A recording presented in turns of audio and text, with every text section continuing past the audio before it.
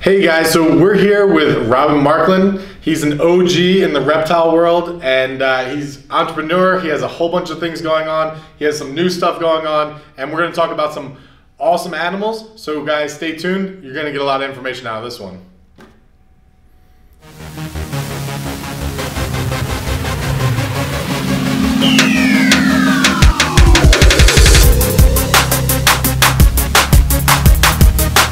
All right, guys. So if you guys don't know who Robyn is, uh, he used to be one of the owners at Pro Exotics. He uh, was an owner at Ship Your Reptiles. He is starting a new company now, and uh, he's done a ton of things. You've been how long have you been in the, the hobby and the, the industry really? We actually just hit uh, 25 years. 25 years of experience right here. 1993, that's not even this century. That's, That's true. like- goes back to the last century. A That's bunch of our viewers weren't even born yet, to be honest. That's true. Ryan back there, he's not. He was. Uh, he wasn't even born. Young Just, pup. He was a pup. so, Now, what's you know what's crazy is 25 years. It is a long time. Seems like a long time. Mm-hmm. Um, but there's literally people in our hobby in our world that have been in double that time. Oh yeah, yeah. you know, sure. before I was born. Like, Yeah. You know, people keeping reptiles in the 60s, uh, even Yeah. in the 50s. Uh, It's pretty wild when you take a broad look at it and try to understand how long people have been at this. So Yeah. 25 years is a long time. Yeah, very much. And But there's definitely Yeah. folks that have put in a lot more time than I have. yeah, and I think sometimes also it's the the quality of the time too, because we've been in we've been doing it for like nine years or so, and we would say we're no experts in. In ball pythons is mostly what we do. We do blue tongue skinks and old world rat snakes a bit. We are not experts, and I think sometimes if you devote like a ton of time, I mean, you were like all in for 25 years, most of that 25 years, all in, and we're like mostly. I mean, we have real jobs outside of this, and Right. you know, it's tough, and we divide the time. We talk about that all the time, and so for people out there that are you know making that decision or wanting to make that decision, you can do so much more with your your your small business um, and the hobby and the industry if you really devote all the time. And this would be like an example of that, where you know if you're just kind of splitting it, and we talk about that, you know, like. So I think it's a lot of the quality as well. So you've been in like and have done a lot. 25 years, Yeah. you know, you've been all over the world. You're like seeing awesome stuff. Well, when i started in 93, I didn't know it was going to become a career. Mm-hmm. I was open, you know, I was delivering pizzas, I was making Subway sandwiches, I was working at the music store, Yeah. just, you know, nonsense young guy jobs that you're just kind of figuring out where you want to be and what you want to do. And I had the opportunity to get into the reptile side on the breeding side. Mm-hmm. And I just thought, oh, that sounds fun and interesting and exciting.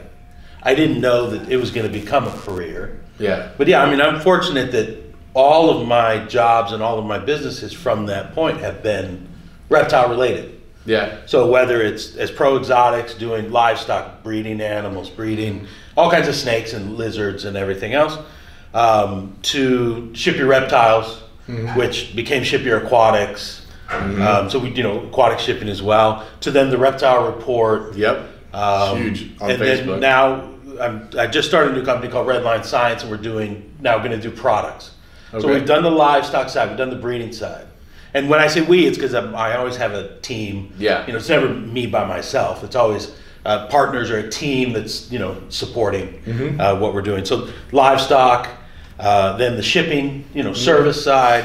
Uh, Reptile Report is more informational and social media side, Mm-hmm. Absolutely. and then now Redline Science is going to be product side. Yeah. So it's interesting the way things evolve, Mm-hmm.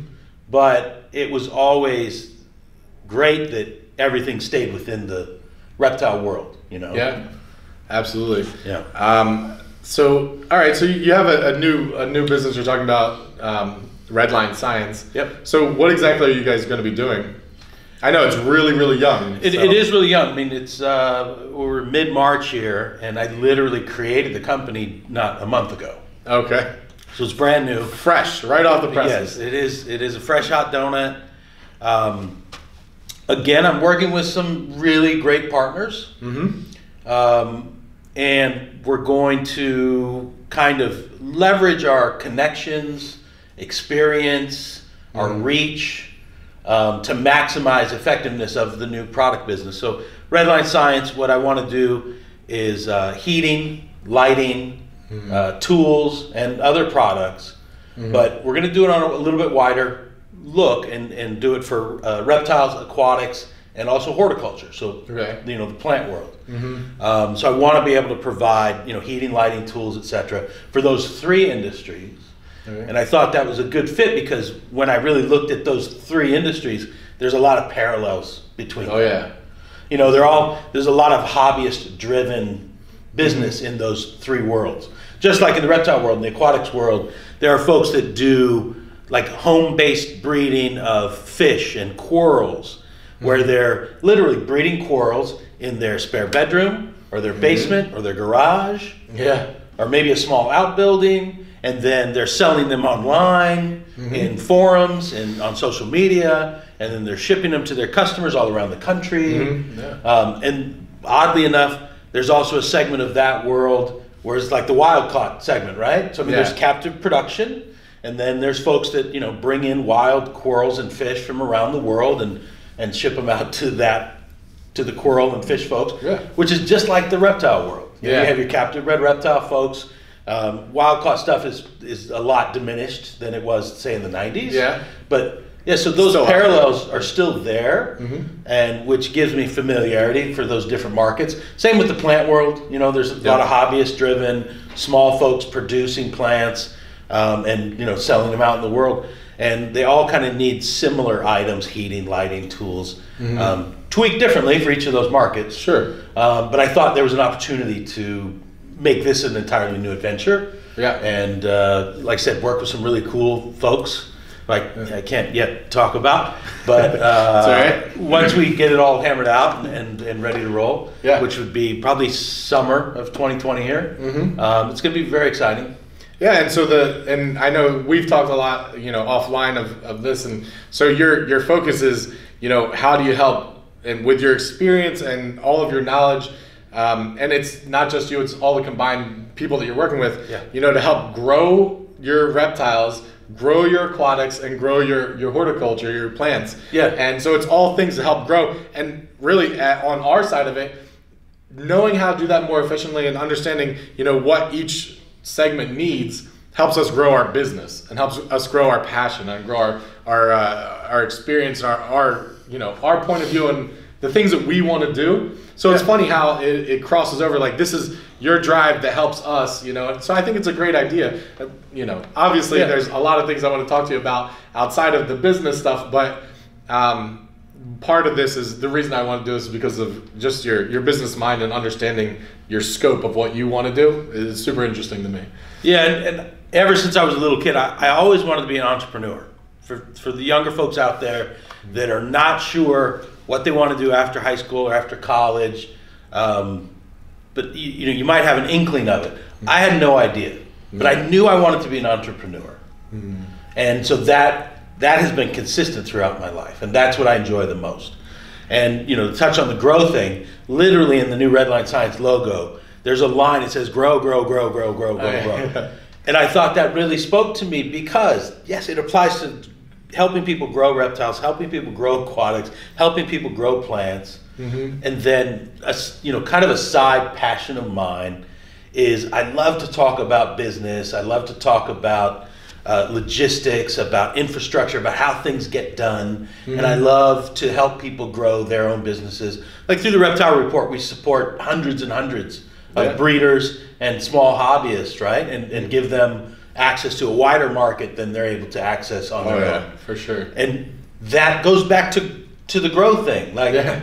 I want to help people succeed. The, the thing I love to do is help good people do great work. If you're Can't if you're a, a strong character, strong uh, um, driven person, and you're busting your ass and you're doing some good stuff, I love to support that. Yeah. And that's really, again, goes back to like the reptile report that lets me do that. Or ship your reptiles that that we we're able to support folks in getting their animals and their merchandise out to their customers at a better rate and more discounted and with the right packaging and everything else that they could get on their own. So we're that's an underlying theme for Yeah. you know a lot of my career is to try and help small businesses or hobbyists grow and, and do their own things and i get That's a lot great. of satisfaction out of that That's great. That's Yeah. great. It's cool. Man. So yeah, so you know, after you guys see this, you're gonna have to check them out. They're still building until the summer, so this video definitely come out before the summer, but they're still building, so keep an eye on them, and uh, we'll probably do updates at some point. You know, Sure. see where, where the new business is going. Um, so we're excited about that, and I appreciate you talking about that, and I appreciate your passion. Um, so I got to pick your brain on something that, that I mean, you've worked with some awesome, crazy animals that some of them, you know, aren't really even accessible to people anymore, you know, and I think uh, just unbelievable. So, talk. Can you talk just just a one minute spiel about Pro Exotics? I mean, I know a lot of people see that I wear my Pro Exotic shirt like all the time. I, and I noticed that, and I appreciate that. so It's cool when um, you go to shows and see, you know, Pro Exotics gear and stuff Yeah, yeah. being worn. So Pro Exotics is what we started in mm-hmm. 1993 with my partner Chad, mm-hmm. um, and we had that until 2011. Okay. We were a livestock breeder. We worked with all kinds of different animals over the years. Um, we did, you know, all kinds of snakes, all kinds of lizards. You know, um, it's funny because back in the '90s, we weren't as smart. Yeah. We're still kind of learning the ropes and trying to figure this all out, right? The reptile breeding and propagation. Oh yeah. And so, I mean, there was times in the '90s we were trying to do everything, and that's the most difficult way to do it. You try and breed everything. You, if you're trying to do everything, you can do everything mediocrely. Yeah. As opposed to if you focus on one or two things, you can do those excellently. But yeah, if you try and do everything, it kind of just kind of gets muddy. But I mean, we did corn snakes, king snakes, milk snakes, um, all types of different boas. Uh, we did all kinds of different pythons. We did giant pythons, African rock pythons that you know, big ones that chase my staff out of the room sometimes. uh, we did retics, we did berms. Um, and then we did a, a bunch of different monitors from you know small ones up to big ones, and then a bunch of different species of geckos. Um, as the 2000s rolled around, we learned those lessons on again being mediocre at everything and having okay production to having better focus on particular species so you could have great production and great success. That's a pro tip for you guys, for real. Go on. There's only so much mental energy you can put into a project. yeah. You know, you only have, uh, it- it's not like literal brain cells that are functioning, but you only have so much focus that you can have. You can and so the, out, the wider you make it, the more difficult it's going to be. Yeah, and I think something that people don't realize is um, to really keep an animal correctly and in the right spot. Th- Sometimes, and we talked about this with Ryan McVeigh uh, just the other day. You have these m- micro habitats almost. So to keep m- two different types of monitors, even in the same room, sometimes is very very difficult. Just be because of challenging. The, yeah, just because of the environmental challenges that you would have. And so people try to spread it out like, oh, I really love this animal, I love this animal, but I really only have like a two bedroom apartment. And, It that's cool. done, that's cool if, if your it's goal is just to keep them and enjoy them, Right. which is a fine goal. Oh, absolutely. You know, there's a lot of purity to that. Just keeping and enjoying the animals versus, well, I have to breed this and I have to make more of these and I gotta breed this one. I gotta, you know, grow this part of the group and breed, breed, breed, and then I'm gonna make money. I'm gonna become a millionaire. Almost nobody does that. It's very Right. difficult to make money uh, breeding reptiles. Very challenging. Well- but there's uh, there's a reason that the best chameleon chameleons out there on the market come from chameleon breeders. Yeah. They're focused just on chameleons. Mm-hmm. They're not also breeding milk snakes, and they're not also breeding monitors, and they're also not breeding Burmese pythons. Yeah.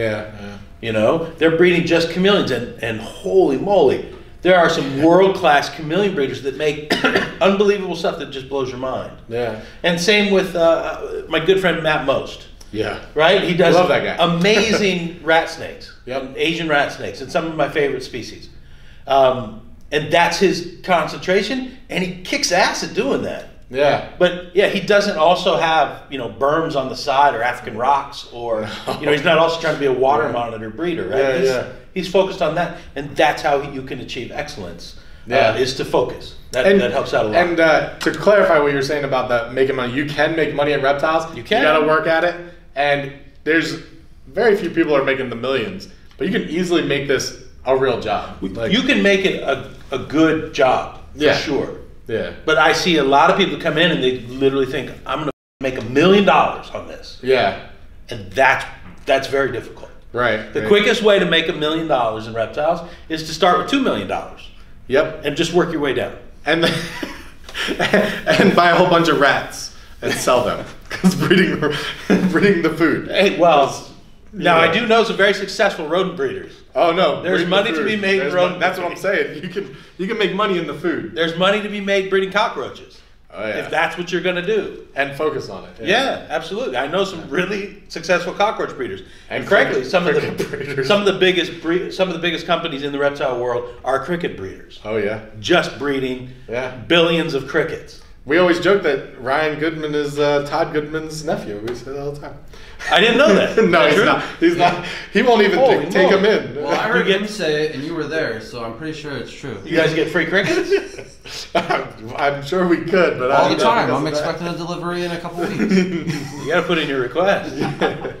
So it, That's there's funny. there's value in that focus part. Oh, yeah, specialty for sure. specializing. Yeah. Uh, but I mean, sometimes that's super challenging because there's so many cool animals to work with. Yeah. You know, For sure. Um, the chameleon thing, I, I do love chameleons. I think they're really gorgeous. Mm-hmm. Um, I'm good just to view it in pictures and videos or at the show. Mhm. I'm never going to try and keep a chameleon because it's just out of my box. It's not what I do. But I was really into monitor lizards. I was Mhm. passionate about doing those.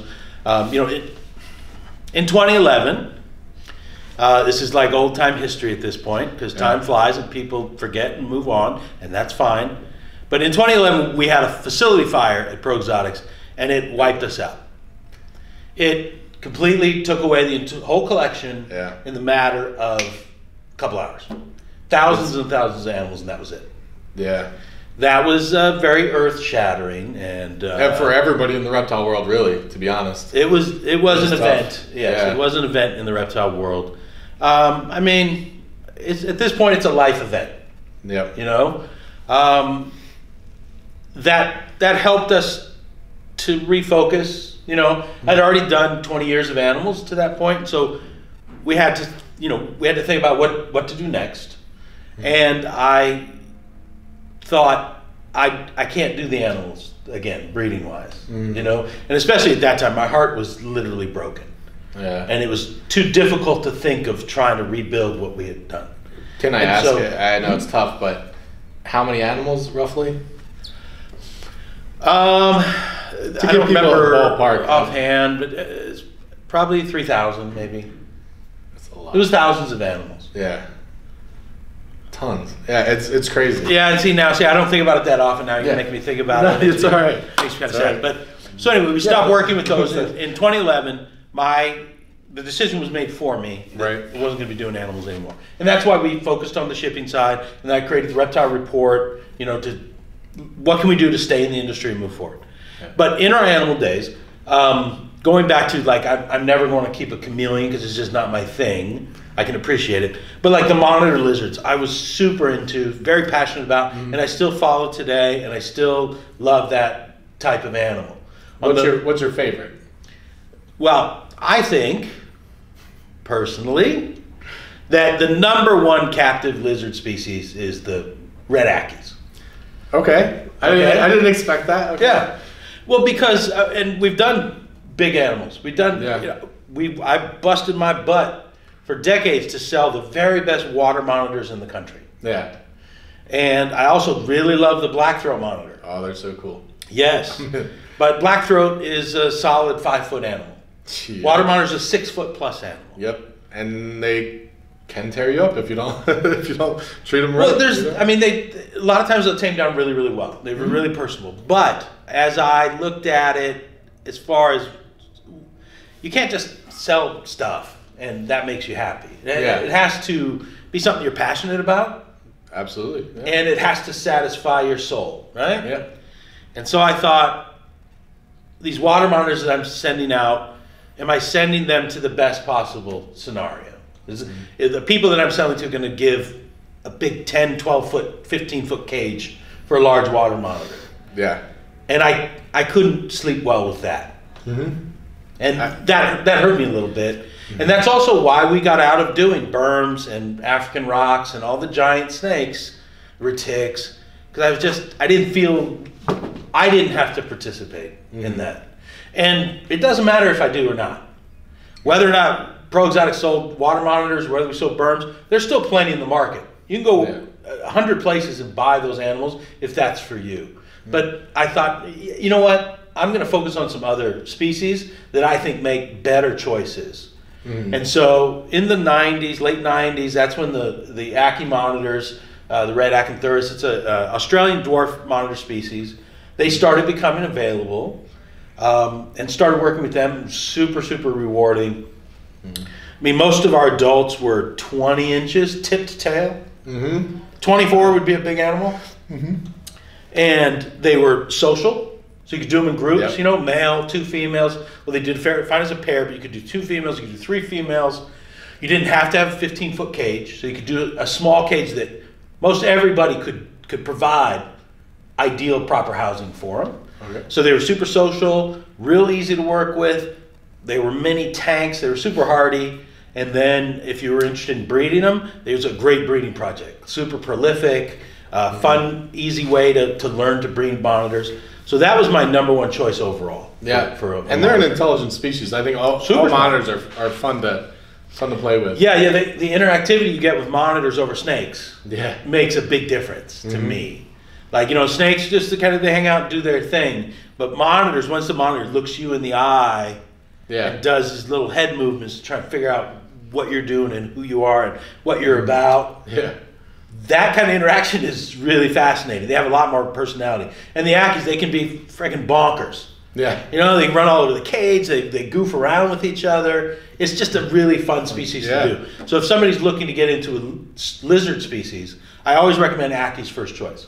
Bearded dragons are fine choice, but there's a billion of them out there. Yep. And it's a great little lizard for sure, Yeah. similar size and everything.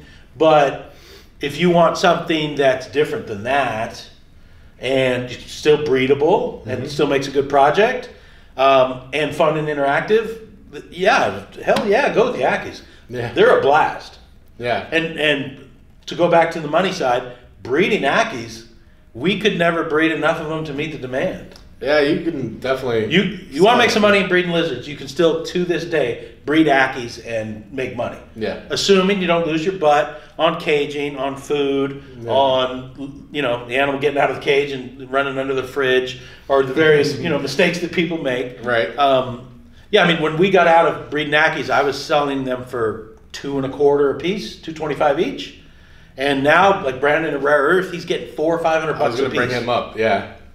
He's so a great guy. The, Too. the money the money's gone up on Ackies because Yeah. there's there's just not that many people producing them. But what a fantastic species! Mm-hmm. Again, small, easy enough to keep, easy to handle, easy to work with, tons of Yeah. personality.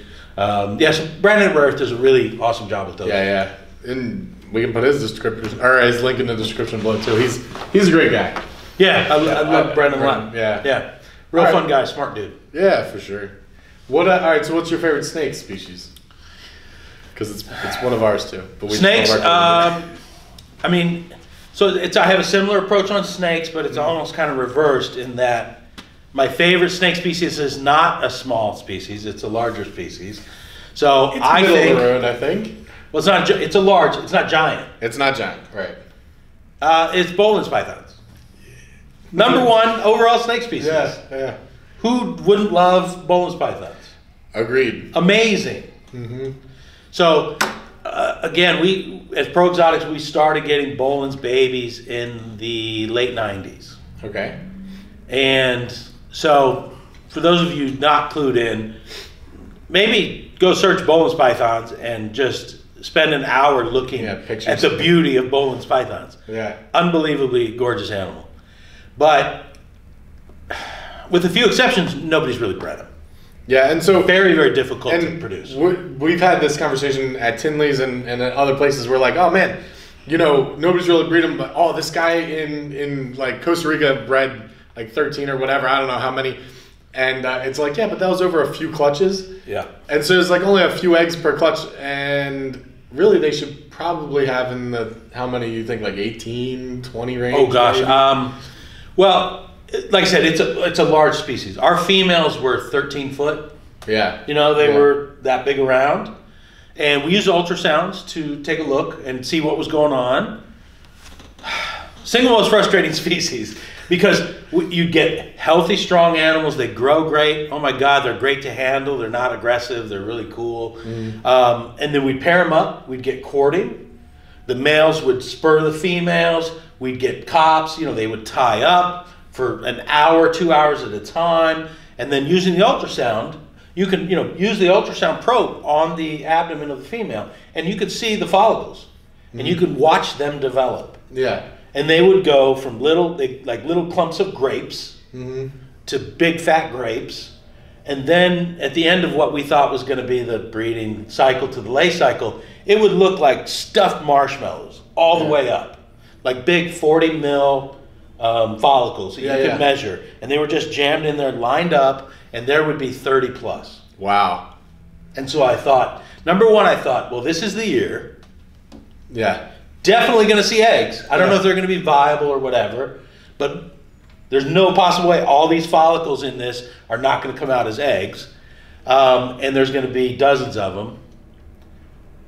And literally over 15 years, we never got one egg.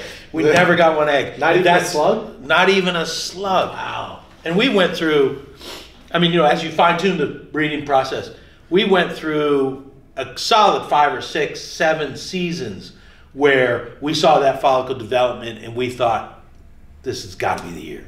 This, Yeah.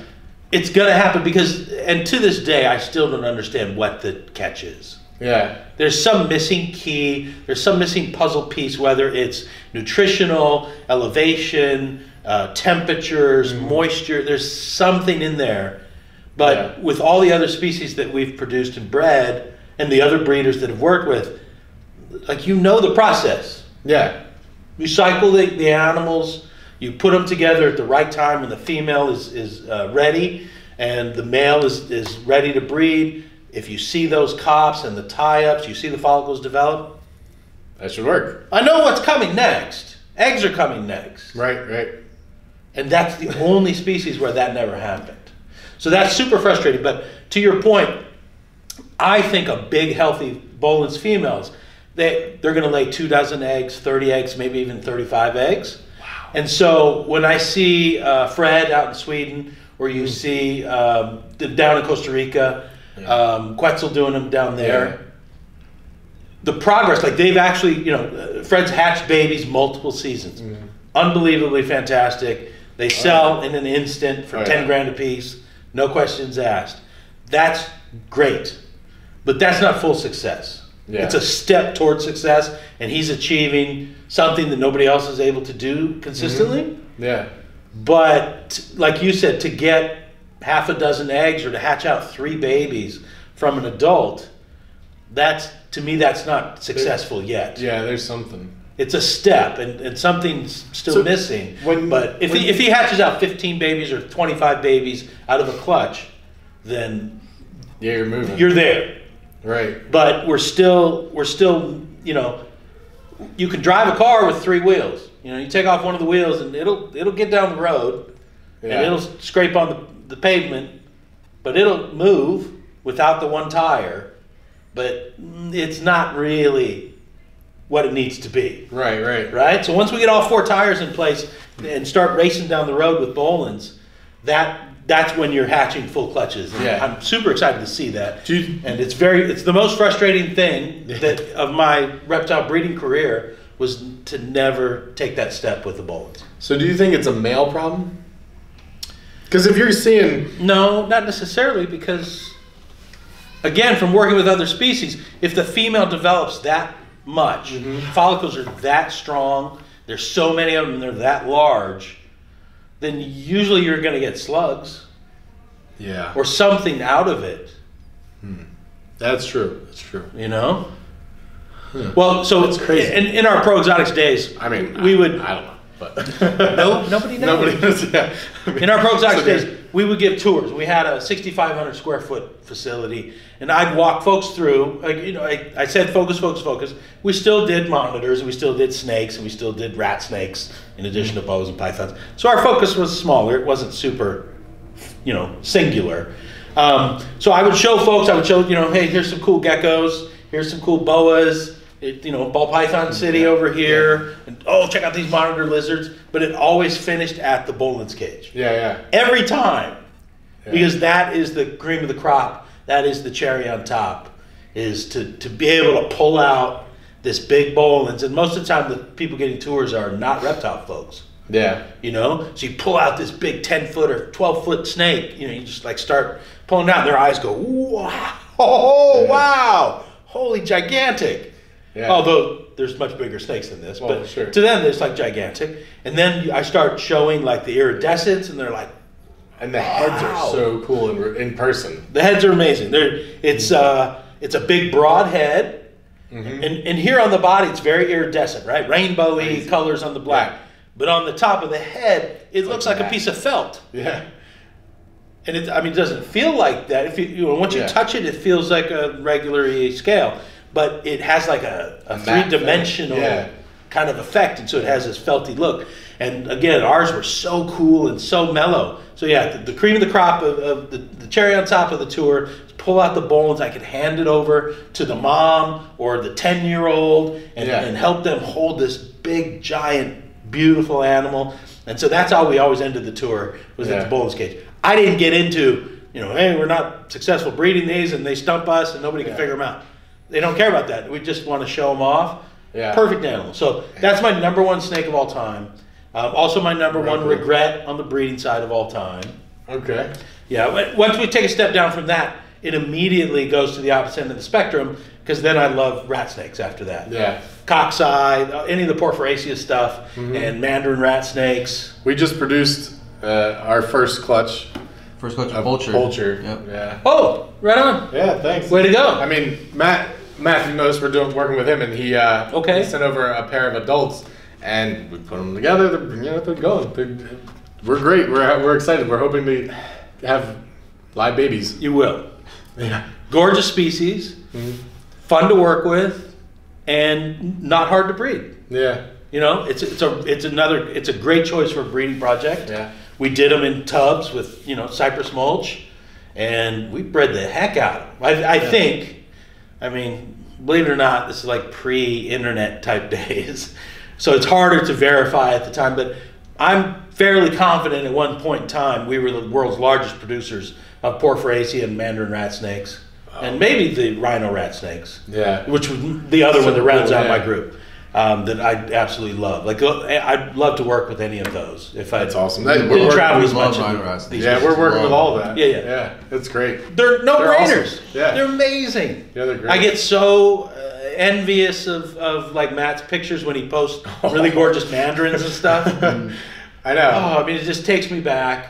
It makes us just want to call him and then punch him. We're like, now I gotta owe you more money, like, cause we're gonna be buying that, and like, Yeah, so the, the mandarins, I, I loved working with those. That's a very, that's a different type of project than the Porphyraceae. Mandarin are much more challenging, um, but gorgeous animals. yeah, Um, breeding's actually okay with those. It was the babies, getting the Yeah, babies all started. started all that that, could be the challenge.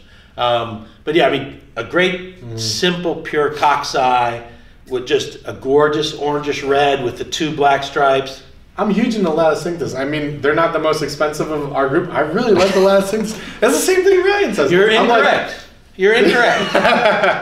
I just like coxi them. is the best one. I just like them. I think they're cool. The Coxi was the original one that started coming in from uh, Yeah. Germany. Okay. Um, and I remember, again, late 90s.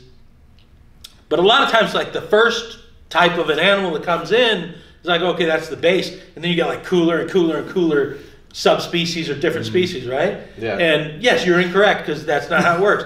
The, the first one, the base animal, the coxi, is the best one. okay. That's it. The Vaillanti or the Pulchra or whatever, uh, they're fine, fun to work with. Coxi is the best. Double striped coxi. And, We have those two. when those came in, it was so challenging to get them. It was hard to get them. Mm-hmm. But uh, Klaus was releasing them only in 2.1s. So you had to buy two males to get one female. And they were 4500 for that reverse trio. So it was like Yeah. it was big boy money. Yeah. it was big commitment. You didn't know anything really about them aside from, Yeah. holy moly, that's beautiful. Right. But yeah, I mean, we had to put a lot of money into buying multiple reverse trios, um, and then eventually breed them, and you end up hey, you've got more females and stuff. But it, you know, that was it was a big step to get into those because it was that was a lot of money. It was a, a you know that's the opposite of an ideal trio that you want is two males for every female. But you know that was the only way you could get them at the time. So you know we did it and and worked with them. We loved them. Um, there what was so interesting about the coxi and any of the Lotus or uh, Pol- uh, Porphyraceae stuff, including lot Lotus and everything else, was the multi-clutching.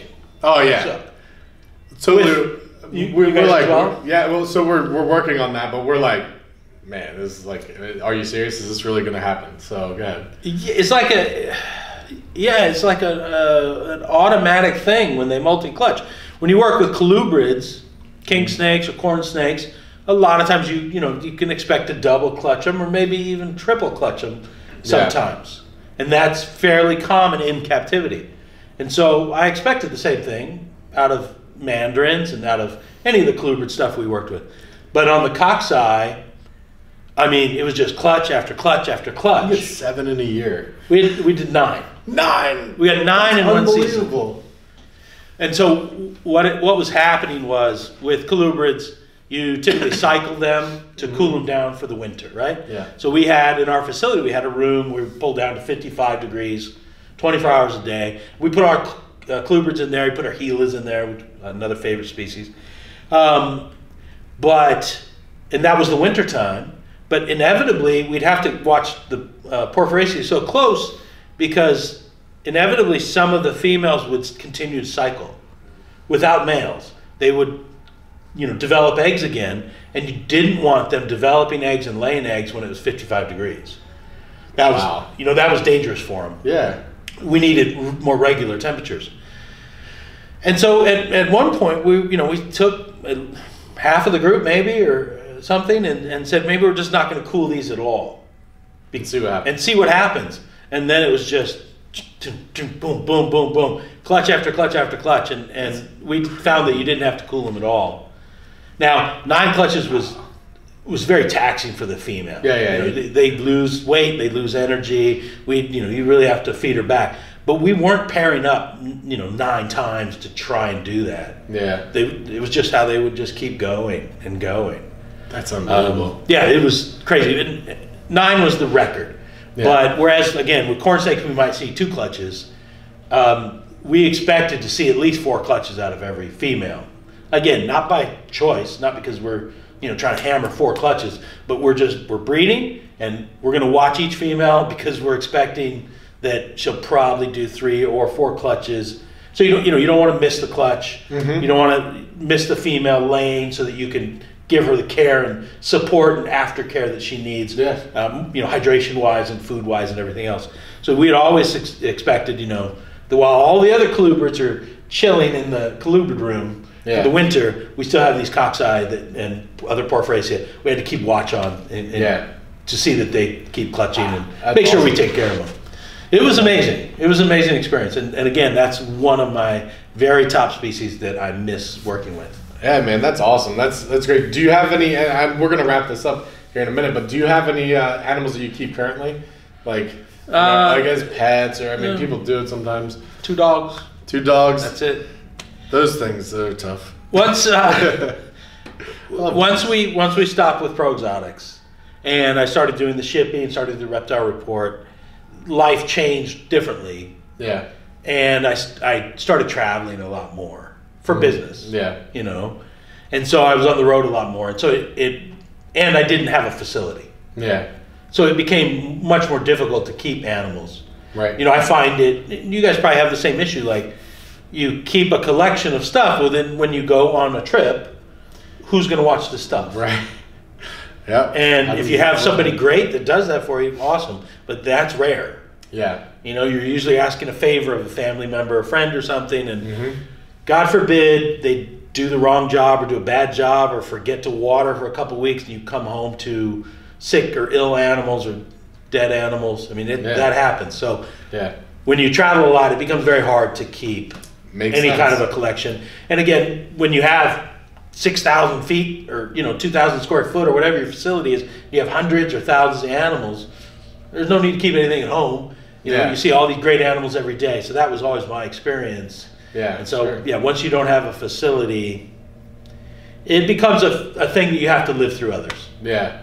And No, I understand. and that's cool. It's I mean, responsible, yeah. Yeah, I enjoy talking to other people about their collections, about their And animals. seeing the pictures on the reptile report. I, yeah, absolutely. Seeing pictures and videos. I still like to have breeding discussion, Mm-hmm. you know, with with different people on how you breed or produce the animals. Uh, uh, Brandon at Rare Earth gave a, a talk at Tinley a couple years ago about dwarf monitor species. Yeah. I was super stoked. I went to the talk. I sat through it and listened to it. I, I don't have any intention of keeping them again, yeah. but It's still cool to keep the knowledge. yeah, you just want to still keep up on it. So that's how I stay plugged in on the animal side is living vicariously through others. That's awesome. Well, I really appreciate your time. Um, Sure. And uh, so people will be able to look up your, your new business soon, and uh, it's still Yeah. under under, We're, under it's construction. so it's so early. I mean, I have an email, yeah, but we don't even have a website yet. yeah, yeah. We're, Oh, that's awesome. It's, It's it's, coming stuff. up. Um, actually, the timing of it. So this is we're filming Tinley Park weekend, Mm-hmm. or the Ghost of Tinley Park weekend. Tinley And- Underground. we're Yes, there you go. Um, and so that, this next coming week was when we're going to start working on the website for redlinescience.com. So, uh, you know, if you're watching this a year from now, sure, you can go see the website at redlinescience.com. Um, it's coming soon. Uh, again, new adventure, Yeah. uh, new things, still in the reptile world.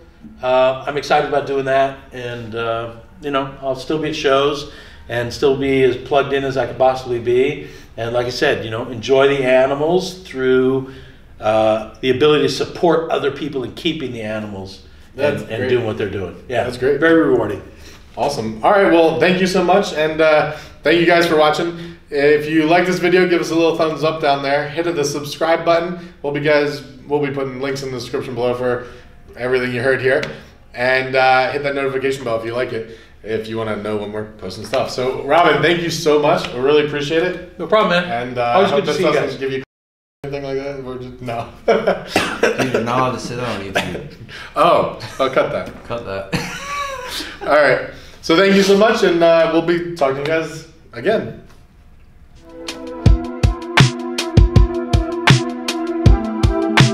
So Tinley, man, it's uh, you know, it got canceled. It's one of those epic things. People are trying to sell stuff out of their, their rooms and all that. It's a mess. Yeah, it's a mess. It It's a mess, and we thought about not coming because we Yeah. thought maybe it's going to get canceled. And uh, literally, as we were landing, I got a text from the promoter, and he's like, "Dude, it's off." And I was Yeah, like, "So you could have told me this two and a half hours ago." that's what it, I know. and so now I'm I'm coming to Illinois for what I anticipate is going to be nothing.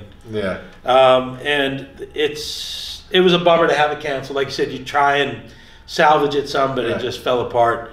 Uh, but it, it actually reminds me that it must be 15 years ago. Um, we were doing the Daytona show, sure. and there was a hurricane, a big hurricane that weekend of the Daytona show. And so we all came in on Thursday, and it was pretty stormy. And then like Friday was the hurricane, and the show's you know Saturday, Sunday.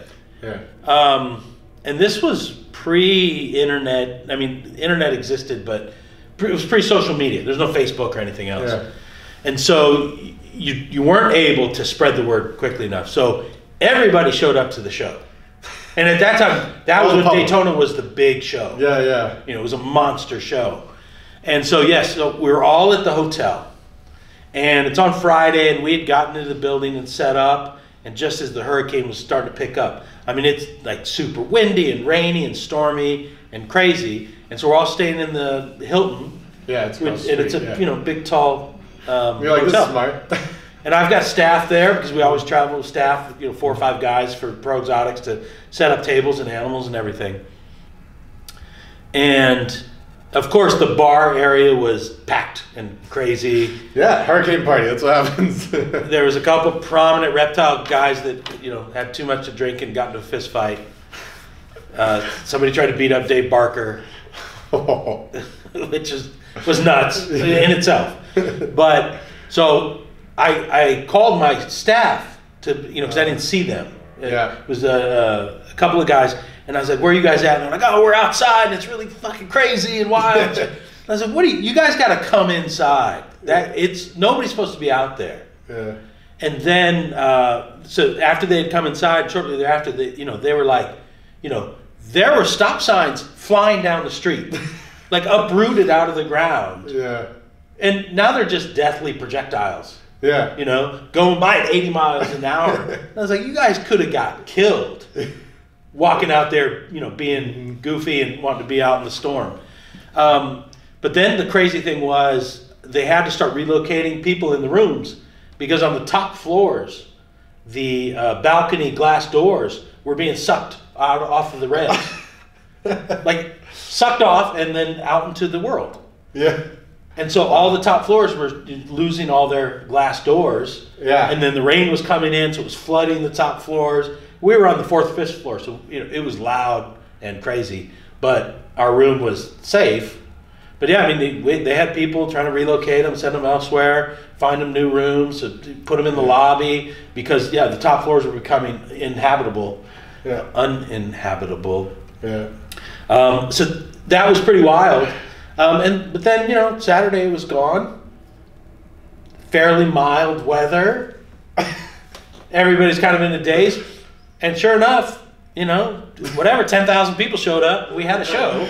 Uh, that's so funny. It was the talk of the show, you know. That Yeah. everybody's talking about the hurricane show, but That's that crazy. was that was wild, and the timing of it was similar to the Tinley show. Yeah. Um, but it didn't end up canceling it. Uh, the hotel nuts. got really messed up, but that pretty much happens at every Tinley too. So the, the hotel gets messed the up. hotel does But get messed up. Find lots of naked people in the hallways. You know, passed out. It happens. Never to me, thank you. I've never seen that. Oh well. There's still hope. There's the hope. Yeah. So this is the second kind of catastrophic show that I've Yeah. been to. I've never gone to a major show, you know, one of the shows of the year where it's just been canceled. It, Yeah. I feel terrible for the folks that traveled to the show, made plans. Oh, I feel really bad for the small vendors. Oh yeah, there's a there's were, a bunch. Mm-hmm. you know, they're banking on a significant part of their yearly income. One of the It's is going to be spring and it's going to be fall Tinley. The so people send in you know show booths and animals shipped to the hotel, and the hotel rejected them. So how do you get there? My animals are here. No, we turned them home. But they're gone. And you're like, but I just like how am I? Who's gonna take care of my like? And they're in shipping for Right. And how are they being returned? Yeah. I've been in the shipping business, so Yeah. I know that if a package is stopped and returned, it often gets slow boated. Like it'll be returned ground. Doesn't matter what the service it got there. And so we've had to react to that a couple of times uh, Oh, for shipping goodness. reptiles, where you know some something happens that the package gets returned, and you got to bust ass to make sure that's put to overnight return. Mm-hmm. They're clarify that it's live animals in the box and not you know so it doesn't come back ground. So Yeah. it's a that's a That's nightmare. crazy. Um, and I, I do. I feel bad. The Yeah. big guys, it's a huge hit. Yeah. You know, for the the triple L's and the Pangeas, Reptile Basics. Zilla, yeah. All It's a lot of money for the weekend, but those guys will be okay. It's the small boutique breeders again that busted their ass all year, This is one of the worked hard to get a booth for the show, which is not easy. Yeah. And this is going to be, you know, this show is going to be where they're going to make a good amount of their reptile money for the year, and then now nothing. That Yeah. and, and they're going to eat travel, and they're going to eat hotel, and they're going to eat plane fares, or you know whatever else. Yeah. That that one I really feel bad for, and and uh, I Tough. hope I hope that works out. Yeah, they're Uh, gonna move it to right now. They're moving it to June, so we'll see how that works. Yeah. we'll see. So, But yeah, if there's still a world. Yeah, Who knows? there's not, you know, Babu was uh, talking about he doesn't want to go to Detroit. We are asking him to come down, and he's like, "Ah, zombie apocalypse happens. I don't want my zombies having guns, so we can't have that." So, like, Yeah. thanks, Bob. It's it's a bit nutty. Yeah. So uh, again, second show that's ever been canceled, or excuse me, second show that's had a catastrophe Yeah. that I've been to. Um, first show that's ever been canceled. So it it's been an experience. That's crazy. Well, thank you so much again, and I appreciate it. It's a funny story. So, all right, we'll uh, we'll keep it moving. Hopefully, we'll we'll make something out of this weekend. All right, me too. Hope so. salvage, salvage, salvage. Yeah.